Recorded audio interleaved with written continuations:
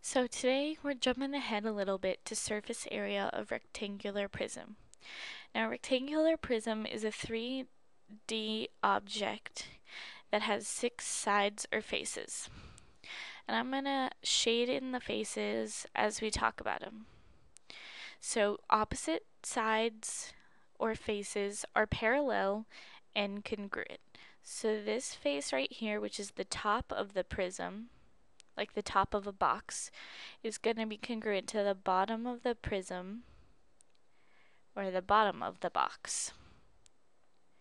This right side right here is going to be congruent to this left side right here. And this is going to be the hard one to see is this front this front of the box is congruent to this back of the box, which you can't really see because I can't show you the back of the box on paper. So to find the surface area, find find the area of each face and add. So for a rectangular prism, prism, excuse me, we can take the area of the top times 2 because that's the also this the area of the top is equal to the area of the bottom plus the area of the right times 2 plus the area of the front times 2. Now that's only for this for a rectangular prism. When we go and talk about triangular prisms, it's going to be a little bit different. So let's do an example. So find the surface area of each prism. So first we're going to find the surface area, the area of this front and this back, if you can see it right there.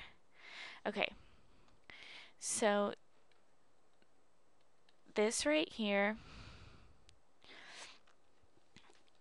is a a rectangle. So we're going to take 9, which is the length, times, if you look at this one, this one's 5. And since it's a rectangular prism, this one also has to be 5. So we're going to take 9 times 5 which gives us 45 for the for this front piece. And in order to get the back piece as well, we're going to times this by 2 which is, equals 90. So two, the front face and the back face together have an area of 90. So now we're going to do this side right here and this left side right here. And since those are congruent, we're going to do the same thing we did with this one. So we're going to take the area of this one, which is 4 times 5, which will give us 20, and we're going to times that by 2 to get 40. Now that takes care of both this side and this side. So now we have one more thing to find the area of, which is this top right here and this bottom right here. So we're going to do the same thing. We're going to take, except this time it's going to be 9 because that's this side of the box times 4 which is the width of the box. So A is equal to 36 and we're going to multiply it by 2 to get the bottom and the top. So and we get the area of that part is 72. So now we're going to take this and this and this and add them all together to get the surface area of the whole thing. So 90 plus 40 plus 72. And if you type that into a calculator, you'll get the surface e area is equal to 202. So now we have one more example we're going to do, and it's a triangular prism this time. So we're going to have, this prism does not have six rectangular faces. Instead, it has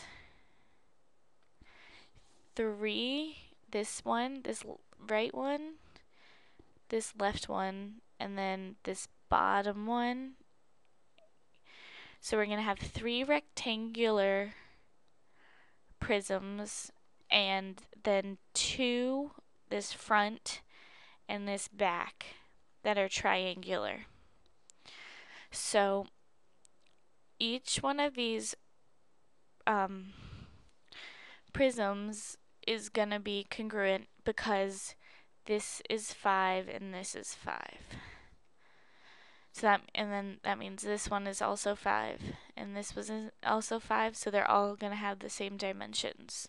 So we're going to take for the area of the rectangle we're going to take 5 times 5 which gives us 25 and we're going to multiply that by 2 because it'll give the area because the area across from it is going to be the exact same. So 50 for these two. For the bottom, the area is also going to be 5 times 5 because we have this length and this width. So 25. And now we need the area of these two triangles right here. So they drew in this height for us and told us that it was 4 millimeters. So to find the area of this triangle, we're going to take 1 half base times height. 1 half of 4 is 2. 2 times 6 is 12. We're going to multiply that by 2 because we have two triangular faces. So times 2 equals 24. Now, to get the total surface area, we're going to take this plus this plus this, and we get area is equal to 50 plus 25 plus 24. So area is equal to 50 plus 25 is 75 plus 24 gives us 99. So our surface area is 99 meters squared. Now, even though this is a three-dimensional object, we're still in meters squared because we're, we just want the surface area. If we were finding volume, then we'd be in meters cubed. So I just remembered that we left units off of this one. So we're just going to go back and add our units real quick. So where was our final answer? Right here. So it should have been 202 inches squared. But that's all we're going to do with surface area. Um, make sure you come back because in the next lesson, we're finally going to get to learn how to do volume of prism.